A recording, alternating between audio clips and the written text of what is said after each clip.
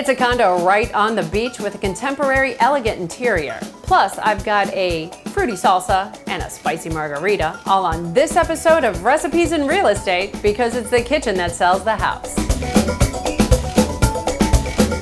Welcome to Casa Gloria in Punta Negra Condominiums. in this amazing location. It is awesome. Our fruity salsa is going to feature our star, which will be cantaloupe. Oh wow, I never did salsa with fruit. The great thing. The great thing is, is that cantaloupe is in season here almost year round, so you can always find a fresh melon. Another key ingredient to any salsa is onion, and this one happens to be red onion. You have to have your leafy greens in your salsa, and this happens to be cilantro, Okay. but you can also use parsley, or better yet, some fresh basil to add it, just a little bit different flavor. No Mexican dish would be complete without Chile picante. That would be correct. And these are two small serranos. Adding a little tang to our mixture will be some lime juice. And you can go ahead and start mixing.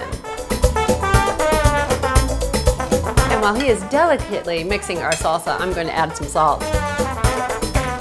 It is definitely a colorful dish and you can also use this as a topper for chicken or pork or you can just use it as a side salad. You don't need tostadas to eat salsa. As with any salsa, you're going to want to put it into the refrigerator for at least an hour so all the flavors and juices meld.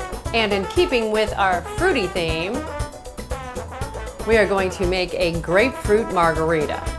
Perfect. So we are going to start out with some crushed ice. While he's doing that, I'm going to dress the glasses with a little grapefruit juice and Tajín, which is a chili lime powder. Into the magic bullet goes one ounce of jarabe, which is what they sell down here, otherwise known as simple syrup. Or you can even use triple sec if you want to. We are then going to add some grapefruit juice, and we are going to add some fresh squeezed lime juice.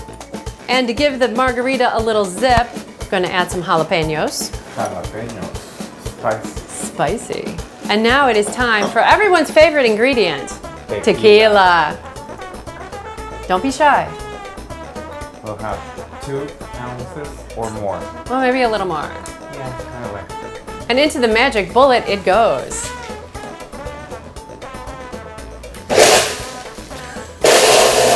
Ooh, And it smells nice. a little sweet, a little fruity. You want to add a big hunk of grapefruit and a jalapeno as your garnish. For more information on Casa Gloria, just contact me. All the recipe details are in the description below. If you like this video, go ahead and give it a thumbs up and don't forget to subscribe.